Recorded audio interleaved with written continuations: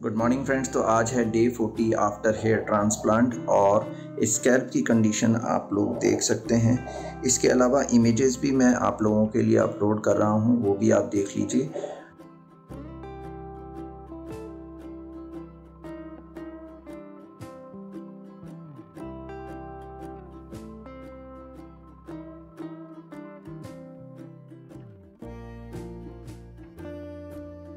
तो अभी जो रिसेंट अपडेट है, वो ये है कि मेरी डॉक्टर सर से बात हुई थी। उन्होंने मुझे कहा है कि एक्चुअली जो फिनेस्ट्राइड उन्होंने वन मंथ के लिए मुझे लिखा था पहले तो वो मैं कंटिन्यू अभी वन मंथ लगभग होने वाला है अभी फोर फाइव डेज़ में, उसका मेडिकेशन कंप्लीट हो जाएगा।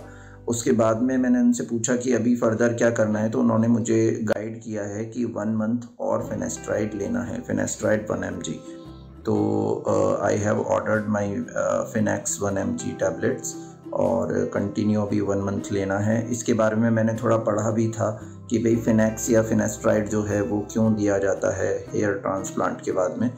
तो बेसिक कंसेप्ट इज़ दैट कि जो हेयर ट्रांसप्लांटेड जो हेयर हैं उनमें तो आ, उनकी ग्रोथ तो होनी है डेफिनेटली लेकिन उसके अलावा जो हेयर हैं जो आपके ओल्ड हेयर हैं उनकी ग्रोथ अगर उनमें थिनिंग थी तो उनकी ग्रोथ प्रॉपर होती है फिनेस्ट्राइड से वो उसको सपोर्ट करता है और उसके कारण जब जो रिज़ल्ट दिखाई देता है वो काफ़ी फुलर दिखाई देता है तो इस वजह से जो सर्जन्स हैं वो जनरली फिनेस्ट्राइड प्रिस्क्राइब करते हैं। सो so दैट कि आपके जो पुराने जो ओल्ड हेयर हैं वो थिनिंग ना हो और उनका हेयर लॉस ना हो। तो प्रॉपर डेंसिटी जो होगी वो आपकी सर्जिकल जो आउटपुट है वो तो आना ही है। साथ में आपके जो ओल्ड हेयर हैं, उनका भी हेयर लॉस भी रुक जाता है और उनकी अगर थिनिंग है तो उनकी ग्रोथ और हेल्थ जो है वो ठीक रहती है। तो इस वजह से फेनास्ट्राइड को प्रिस्क्राइब करते हैं। फेनास्ट्राइड वन एम की डोज जनरली हेयर लॉस में ही दी जाती है और ज़्यादा जो डोजेज़ हैं वो दी जाती है प्रोस्टेट के ट्रीटमेंट में। तो definitely I am going to use it for further one month और जैसे भी अपडेट्स होंगे, इसी तरह से मैं आप लोगों के साथ में शेयर करता रहूँगा। अभी आज की तारीख में डे फोर्टी पर मैं ये कहना चाहूँगा कि काफ़ी ज़्यादा रिलैक्स है। जैसे इनिशियल डेज़ के अंदर हर तरह की परेशानी होती थी, लेटने के अंदर परेशानी होती थी इचिंग होती थी।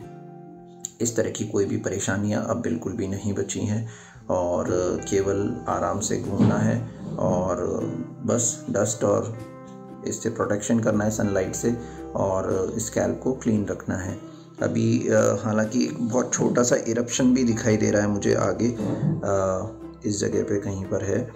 उसके लिए भी मैं एक बार पूछ लूँगा, अगर सर मुझे कुछ एडवाइस करते हैं तो definitely I will share with you friends तो जैसा कि मैंने आपको बताया था कि मेरे फोर हेड पर एक स्लाइट इरप्शन एक फुंसी जैसा हो गया था यहाँ पे छोटा सा, जो कि बहुत ही छोटा था, लेकिन मैंने सर को इमेजेस शेयर की थी तो सर ने मुझे एडवाइस किया है ये क्रीम लगाने के लिए। ये है T Bact cream T Bact cream है।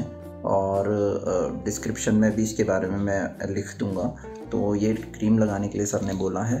तो ये एक छोटा सा अपडेट था आप लोगों फ्रेंड जैसा कि मैंने आपको बताया कि मुझे मेरे डॉक्टर ने सजेस्ट किया है टी बैक्ट क्रीम लगाने के लिए। लेकिन इसका मतलब ये नहीं है कि आप लोग भी सेल्फ मेडिकेशन करें।